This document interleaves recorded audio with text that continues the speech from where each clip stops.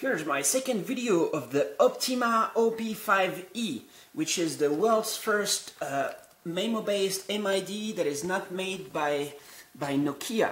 So I'm gonna resume, uh, like, uh, what you call, uh, resume from standby, like just in one click. Then I go uh, over here, I'm gonna go in the file manager, and I'm going to show you that um, you can install some Maemo applications on it. So uh, right there I'm gonna go on the on the th the 3 gig uh, volume. I'm gonna go on my downloaded apps folder right here. And I'm going to try and install some application right here. So what would you like me to install? There's all these Debian files .deb and uh, many of these not all of these but many of these that were made for the Nokia um, N800, N770, N810, uh, even N900. Like they they only need like a little little bit of port porting to to actually work. So let's install a game like here. This little little Bomber Bomberman game. So I click and it says, uh, "Yep, do you want to install?" Uh, unable to guarantee the software will not harm your device because it's just like point .deb, so there could be like whatever, but uh, when it's totally launched, this product, it will be like a web catalog of applications where all the applications are totally checked for. So right here, I'm gonna do, I'm just gonna say, I like to have this inside of entertainment. I wouldn't want that to, to be like in applications folder. So I say, okay, install it in application, uh, in entertainment, and there it says successfully installed. So I'm gonna go here, um, I'm gonna go inside of the entertainment button right here and there's a Bomberman. Bomberman. Software is from the internet, maybe there exists some competitive, uh, I can just say don't show this next time, like this, and there. I'm going to launch the Bomberman, and you can actually play this over the internet. Some cool guy uh, did this, uh, Robert Hochhaus uh, but I'm just gonna play uh, offline, I guess. Yep, there you have it. So there, it's the controls, very advanced games. Uh, am I putting the bomb? And like this. And then I can go down here, and I can put another bomb. You see, so this is totally working. And uh, I'm expecting there's a whole bunch of, of, uh, of, games available and applications and all that.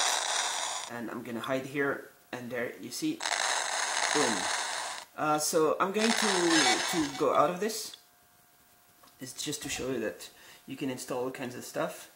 Uh, let's just close the Bomberman and uh, there's the call calling application. I'm just going to let's let's launch just the web browser for a second just so you can see is uh, the icon, the design of the icon can be changed to a Firefox if it's sold in Europe or in the US where um, now I'm going to uh, just type in a, domain. I'm going to type in uh, let's go on on the Google on just like some random search here. Let's just go in here just so you can see. I'm over Wi-Fi right now and it's loading the Google. Is it? I should be connected right here. Yep. I'm connected uh, been connected that long. Okay. Okay well there you have it. It's searching on the Google over Wi-Fi. And uh, it's a nice 800 times 480 resolution so it's, it's good quality. It's, it's cool and there you have it. So this device is also it can all, and it can be sold for only $300 as well. And you can check my other video where I show more more of it uh, the video I did previously like a few weeks ago. And uh, so I've been testing it out for the last three weeks and it kind of works. Uh, there's of course a whole bunch of optimizations that they should do that they could do in the way that uh, uh, what's it called Maemo is being used so they could optimize Maemo, make it better and all that, but the hardware is there already, pretty cool. And uh, as I showed you in the other video, there's um, uh, there's right there I can resume. And if I go like this I showed you already but just gonna show you quickly again. Now it's completely powered off power off and then I can remove the back and there's battery very big battery and here is the SIM card slot which is really like this is really special. There aren't many like small tablets like this with a SIM card slot. So you can have 3G but this 3G is not compatible with Europe. It's the US or Chinese uh, CDMA network. So it's only for CDMA for now but very very soon right after New Year they will have uh, just a few weeks they will have a European compatible version so there you have it. Um, the Optima OP5E. My second video, just showing a little bit more.